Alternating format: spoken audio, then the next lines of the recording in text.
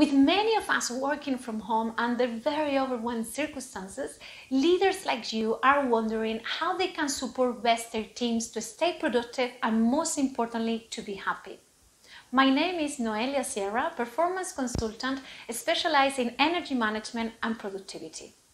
As we all know, human beings are made of energies physical, emotional, mental, and spiritual. When these energies are in balance, we feel better with ourselves and we become more productive. The problem that we have is that we don't know how to identify when these energies are not working or where we need to focus. The good news is that I have created a workshop dedicated to leaders like you where I teach you techniques for you to understand how your team members are feeling in terms of energies.